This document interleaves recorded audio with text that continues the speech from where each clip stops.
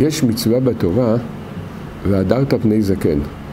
יש כל מיני דרכים לקיים אותה. אחד, הדברי, אחד הדרכים זה כאשר אדם מעל גיל 60, ויש אומרים 70, זה מחלוקת, קמים לכבודו, על ידי זה זוכים לקיים את המצווה והדרת בני זקן.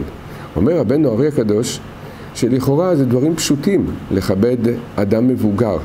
והרבה פעמים אנחנו, בלי לשים לב, מבטלים את זה. אומר רבנו ארי הקדוש, שעל ידי שאדם זוכה לקום לפני זקן, על ידי זה הוא זוכה להמשיך אור רוחני מאוד גבוה שנקרא שין עין נאורין. ללב ולנשמה של האדם. פירוש הדבר שאנחנו מרוויחים רווחים מאוד גדולים על ידי זה.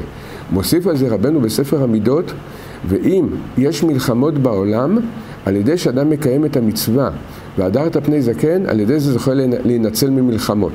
אנחנו רואים בספרים הקדושים אצל הצדיקים הגדולים כמה מעלות וכמה טובות אפשר להמשיך על ידי פעולה מאוד פשוטה, לקום לפני אדם מבוגר. להקדשת השיעורים של הרב להצלחה, לזיווג, שלום בית, רפואה, לעילוי נשמת. התרומה עבור עזרה להפצת התורה. ניתן לפנות לטלפון 02-650-2929. תודה רבה ותזכו למצוות.